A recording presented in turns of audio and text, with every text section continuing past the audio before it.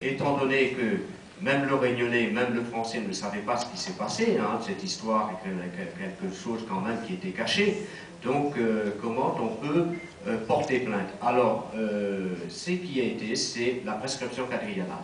On a été devant la Cour européenne, mais la Cour européenne a statué avec deux phrases, c'est tout.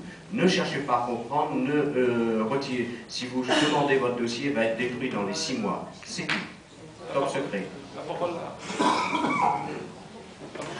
Oui, euh, euh, bonsoir. Euh, je suis de la Guadeloupe. je suis vraiment ému et très content d'entendre votre témoignage parce que c'est quelque chose de très très fort. J'avais déjà entendu parler de cette histoire des enfants de la Creuse.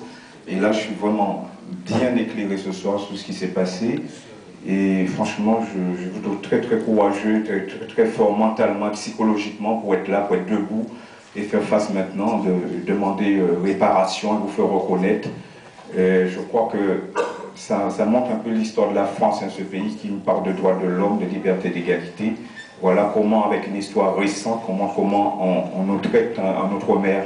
Et ça m'a fait penser aussi à un film euh, qui est sorti ici il y a quelques temps, qui s'appelait L'avenir est ailleurs. On a parlé de l'histoire du Bimidum, et il y a eu beaucoup de, témoignages très très poignants aussi de gens qui ont souffert aussi, et aussi de l'organisation, la mise en place du Bimidum, qui a entraîné aussi le départ des gens. Mais là, c'était fait d'une manière très subtile. Les gens les a manipulés, on les a conditionnés, on leur a fait croire que le bonheur, l'Eldorado était ici, alors que beaucoup ont souffert ici, ont été exploités, ont été maltraités. Il y a des femmes qui, ont, qui sont rentrées dans des réseaux de prostitution en Europe et partout. Donc il faut, toute cette histoire-là se, se, rejoint quand même hein, par rapport à ce qui s'est passé en Martinique, Guadeloupe, Guyane.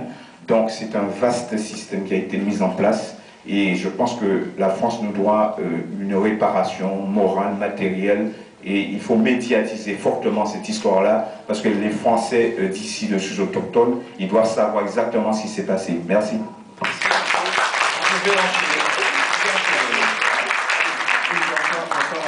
Je voudrais d'abord euh, apporter un éclairage. Le documentaire auquel vous faites allusion, c'est celui de Jean Palsy qui ressemble terriblement à votre William, euh, qui s'appelle Discours de euh, parcours de dissident.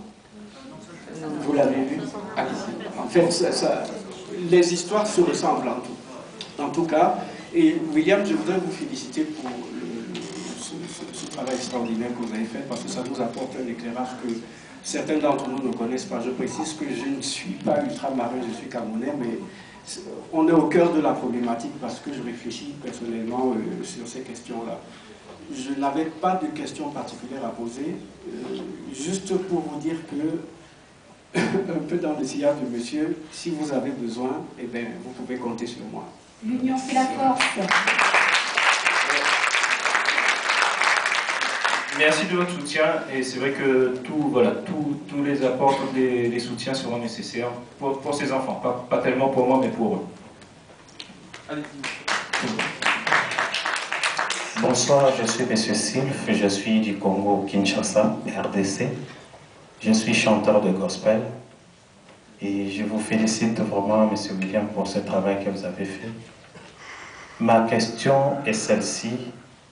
Je voulais savoir, est-ce que vous avez des enfants nés ici en France? Oui. Est-ce que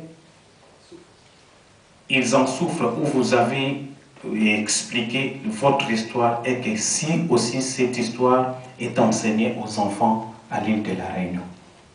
C'est notre but, hein, c'est d'aller donc vers, euh, vers les, les collèges, les lycées. Moi, mes enfants sont nés en Creuse et ils connaissent bien sûr euh, mon histoire et ils en souffrent pas trop parce que j'essaie quand même de les protéger par rapport à ça parce que moi gens ai tellement souffert que je les protège. Mais ils connaissent l'histoire.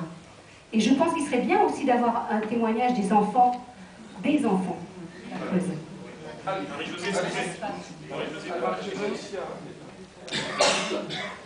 En fait, euh, poser la question si nos enfants souffraient, forcément, parce que soi-même, quand on ne connaît pas notre propre histoire, ben, c'est difficile euh, d'éduquer un, enfant. On le fait avec euh, notre amour euh, de mère, on a quelques recettes, on va le dire. Mais moi, je sais que le mien a pas mal souffert.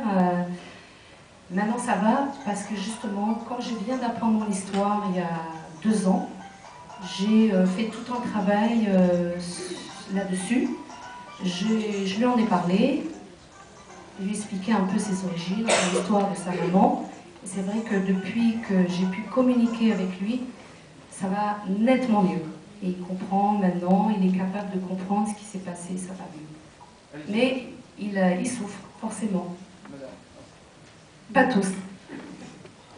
Je me présente, je m'appelle Mitra Zenga. Déjà, je veux remercier euh, toutes les personnes qui ont participé euh, à ce documentaire. Un grand bravo et vous avez beaucoup de courage déjà pour parler de ça comme ça.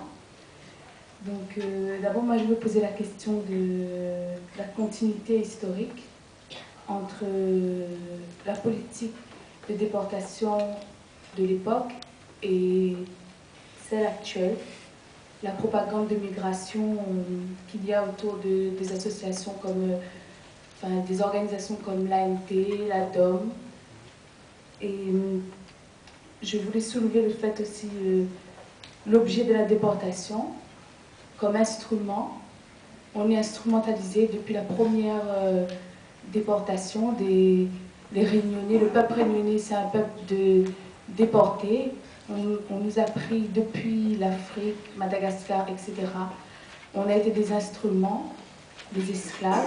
Ensuite, on continue à nous déporter pour être des main-d'œuvre gratuites, comme le défunt monsieur son témoignage qui était très émouvant. Et ça continue encore aujourd'hui, parce qu'il y a beaucoup, beaucoup de Réunionnais qui continuent à être déportés dans des associations comme DIEP, ce genre de, lieux où il y a pas mal de réunionnais et qui sont soutenus par la région, par le département. Oui, euh, euh, peut-être une petite réponse. Je peux comprendre votre point de vue, le déracinement, dans, le cadre justement des, des, migrations. Mais il faut faire vraiment une différence. Ce qui s'est passé en 1963, de 1963 à 1982, où il s'agit d'enfants, c'est-à-dire de de tout petits qui n'avaient pas leur mot à dire. Donc, euh, euh, voilà la, la, grosse différence entre cette, migration qui provoque des racinements et euh, ces enfants qui, eux, bah, sont privés de liberté. bonsoir. Évidemment, je suis Isabelle Pafatnam, je suis franco-burkinabé. Et justement, je voulais savoir si on avait, eu, on avait pu retrouver quelques-uns plusieurs de ces bébés arrivés, euh, ces trentaines de bébés. Si quelques-uns se sont manifestés. Nous, on est partis des bébés, parce qu'on était jeunes, on était tout petits. petits. Trois ans. Mais il y avait encore des bébés, il y avait encore plus petits. Il y avait trois mois. En général, ils ont été adoptés. Hein, tous les petits ont été adoptés. Hein accompagner la maman qui, qui partait en séance creuse. Ensuite, il y a eu des suites où, il y a eu des séparations de, de, de, de bébés et puis de mère. Je connais euh, un cas où, la maman a été séparée du bébé et euh, la jeune fille est venue voir euh, dans le mois de mars bonsoir à tous, je m'appelle Kim et j'ai une question à vous poser, c'est pour les plus grands, pour les bébés. Quand vous étiez là-bas, vous, vous, étiez maltraité et tout, mais pourquoi vous ne vous êtes pas révolté contre ces personnes Vous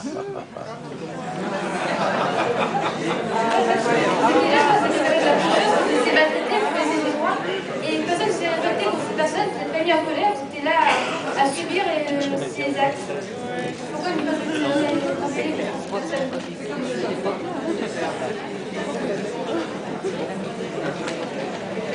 c'est vrai que les, certains récits, notamment des, monitrices du foyer de Guéret, font, état d'actes de, rébellion, évidemment.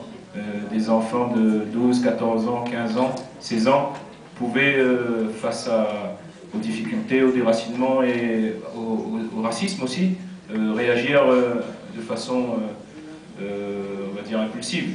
Et c'est vrai que ce sont des enfants, il ne faut pas oublier l'état dans lequel euh, l'état de d'isolement et puis euh, de fragilité dans, le, dans lequel étaient ces enfants. Je pense que ce n'était pas à eux de réagir, c'était aux